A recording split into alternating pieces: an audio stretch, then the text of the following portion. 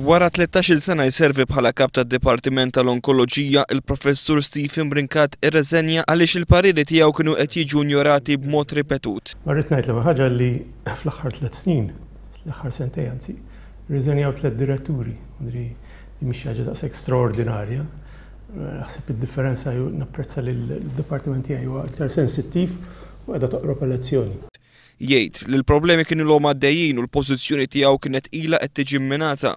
L-aħħar deċiżjoni li wasslitu biex jirreżenja kienet meta l-Gvern ried li jgħaqqad taħt l-istess kap id-Dipartiment tal-Onkoloġija mad-Dipartiment tal-Mard fid-Demm. Imma ma qbiltx mal-prinċipju u ma rajt ebda raġuni u ma ngħatajt ebda raġuni valida għalfejn kellha ssir il-biċċa xogħol. U sal-lum il-ġurnata lanqas bil-press releases u l-istatements kollha ta' DOI għadha ma ħarġet raġuni valida għalfejn kellna bżonn nagħmluha dil-biċċa xogħol. Jitkellem dwar l-attitudni tal-Ministeru tas-Saħħa u kif f'ċerti każi kien saħansitra mitlub jagħlaq ħalqu għaliex jgħidulu li d-deċiżjonijiet politiċi jridu jittieħdu. Sfortunatament għal ħafna drabi iva. U għalhekk jirriżenjaw diretturi oħrajn u għalhekk hemm ċertu. sentiment li huwa naħseb universali fost il-konsulenti u d-diretturi tal-Ministeru tas-Saħħa. Il-Professur Brincat jikkundanna n-nuqqas ta' kontabilità għall-frejjiċ li saru mill-Ministeru wara li kienu injorati l-pariri tal-konsulenti dwar it-trasferiment tal-Isptar tal-Onkoloġija.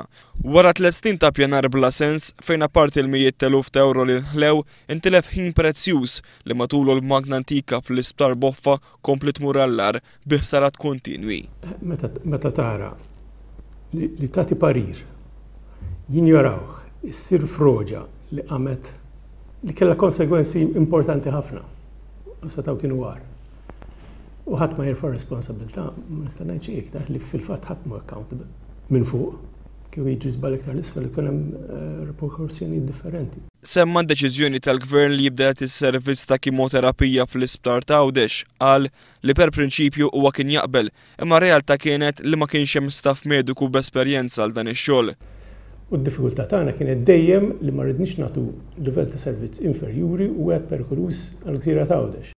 Temm jgħid li t-tibdiliet li saru fil-qasam tal-kura tal-kanċer ma kunux grazzi għall-Ministru Joe Cassar, imma għall-professjonisti li dejjem huma lesti jintroduċu kura ġdida minkejja l-gambetti kollha. Aħna mill-amministrazzjoni li jkollna bżonn is-sapport amministrattiv flok xebgħa gambetti li jżommuna lura u dik hija l-problema persistenti.